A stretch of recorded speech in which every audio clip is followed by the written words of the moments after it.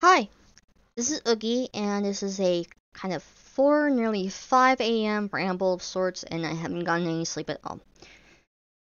Uh, this is just a random spurts of nonsense, so, yeah. Uh, what am I rambling about? Uh, merely my want for an update or some spruce up to this add-on. Um, which is Clip Studio Modeler which is an add-on for Clip Studio that naturally comes with your Clip Studio Paint. And it is a free little program that is just kind of tucked away in the corner where no one can really find it.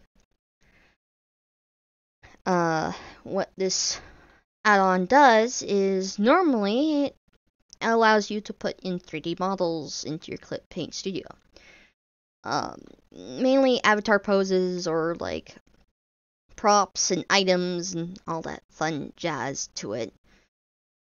But I found something out, uh, thanks for uh, thanks to some hidden videos here and there that's long tucked away, that this has a optional use uh, or use to it that I feel is underutilized and is a hidden, really powerful tool for 3D model makers, especially those who love to do texture work. So currently I have a model of my VCat booth from VRChat uh, that I worked with my friend Damon on. This is a .fbx file, and if you notice, there's the UVs on it because it has a material on top of it that shows the UVs. Turns out, if you have a uh, .fbx or a model file that this program agrees with, and that has a material already attached to it, you get this fun little option right here.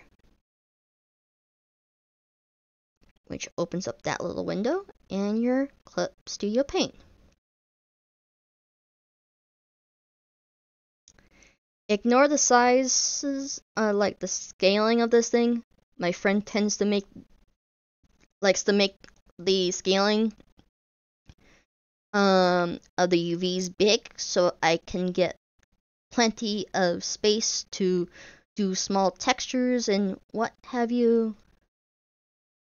So let me move that into the corner where you can rotate. This you cannot interact once this is open. Um, so that is a slight downside to this big window. But I have the textures right here. And the reason why I feel like this is a great and powerful tool for 3D model uh, 3D model artists, especially those who love to do texture work, is because if I say make this layer black, oh look, it instantly updates. Well, nearly updates to one per one. It still lags a little bit. But this is a powerful tool that I feel like people should know about. And it is amazing, and I love it. But goddamn, I wish it got some updates to it, or like a spruce up. Like the last time it was updated was around like 2021. Uh, my problems with it. One, it cannot seem to handle blend shapes all too well. Or shape keys. It like uh is another word for them. Um Reason why I say that is when I tried importing a model with a blend shape onto it with like one single, single blend shape, it kind of soft locked my computer because it kind of like tried to figure out what the fuck it was doing to a point that it took so much RAM that it just kind of froze up the whole computer. And secondly, like I said, don't mind the big texture size. I know it's that's huge in comparison. So I'll basically make it uh, on a smaller size. Um, but say do do do do do right here. So, so if I colored this in, you can see that right there. But if I say I wanted to texture this thing and do some blending on it. Oh, you're you're starting to see that, right? It's it's struggling. Every time I do a single stroke, it stops and has to basically save every single stroke I do.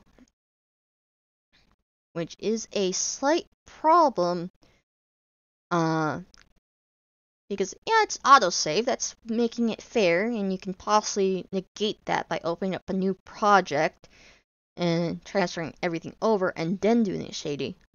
But if it can handle shading on the get-go with this, it makes things a lot more easier personally. Like if I just easily just take the simplest of blend shapes here, it's or well, not blend shapes, the blending brushes here. You can see it's slightly struggling alone. Not to mention the UI of just this alone is complex as hell. Like, it is iffy, it is complex and confusing. Like, I wouldn't even know that you could do this to start with if it wasn't for kind of just stumbling upon this on a random video. You can also export these textures as well. Like, I feel like this is a hidden gold mine for Clip Paint Studio or Clip Studio Paint or whatever.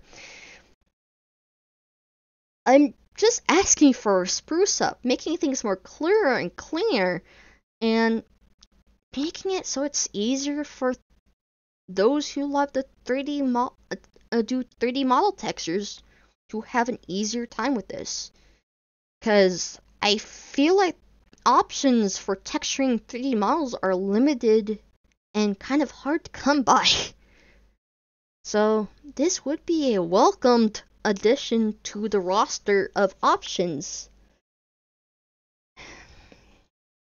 But this is just a nearly 5 a.m. no sleep ramble of sorts and such.